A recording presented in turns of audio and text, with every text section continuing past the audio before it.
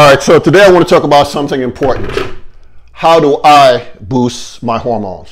A lot of times people always ask me, how do I boost my testosterone? And I try to explain to people, it's more than just your testosterone. It's your whole hormonal panel you have to worry about. So people think men testosterone, females estrogen. It's a lot more complicated than that. But I'm going to break it down and show you guys how I achieve this goal. Let's discuss it.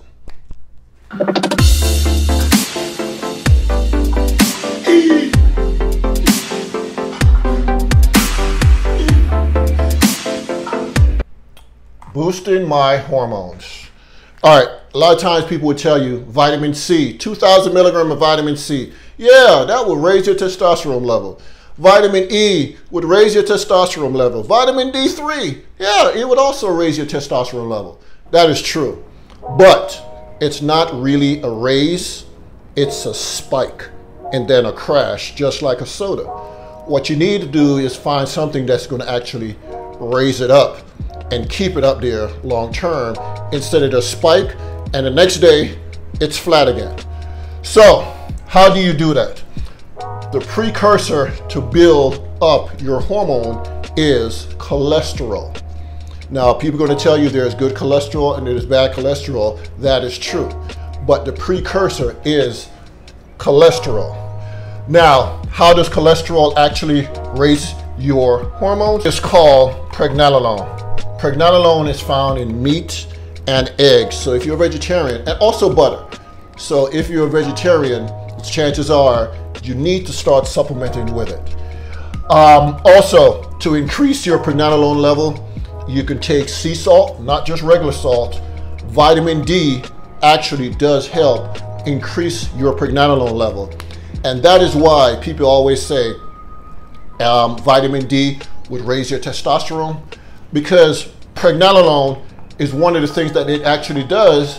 It actually does raise your testosterone. So it's good for your testosterone, your DHEA, which I will come back to in a minute because this is more important to me than pregnenolone by itself. It also increases your progesterone, your estrogen, and your cortisol, your stress levels. It's good for everything. But one thing I want to discuss, I don't think none of this, to be honest with you guys, I don't want to talk about none of this. This is not, no, let me just, let's, let's be real, okay? Let, let's be real let's let's just be real for a second. The only thing I want to talk about. This is the only thing I want to talk about. DHEA is the mother of all hormones.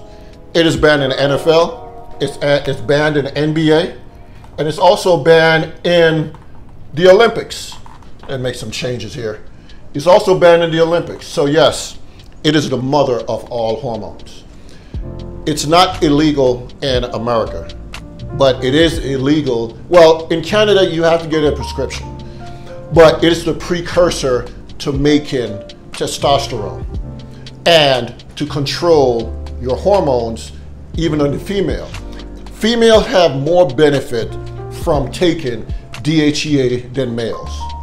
Females could take up to 50 milligrams and have zero side effects when you go over to like 75 milligrams and 100 milligrams, just like anything else, you will have side effects.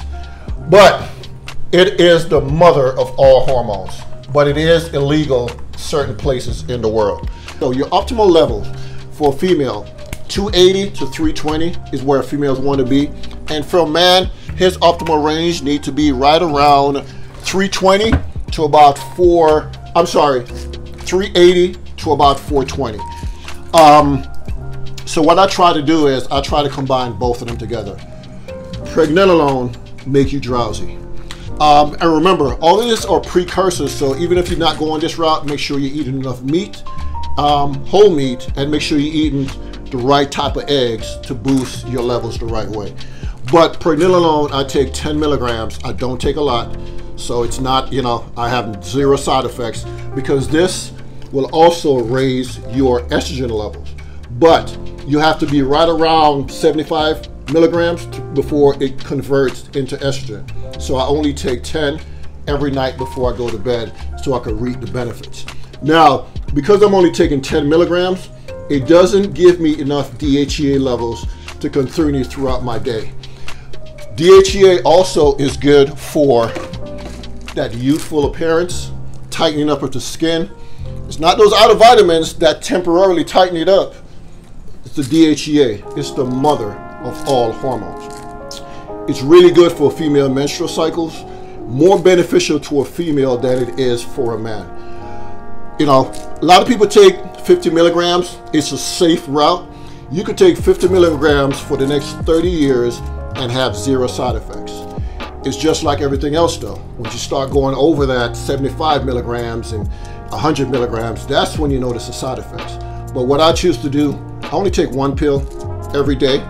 And my pregnenolone I take at night because it makes me drowsy. But this is the best way to boost your whole hormonal system instead of just worrying about my testosterone or trying to lower my estrogen level. Take something that's going to do everything all together. But the precursor is cholesterol. Do not be afraid of cholesterol. See you guys on the next one.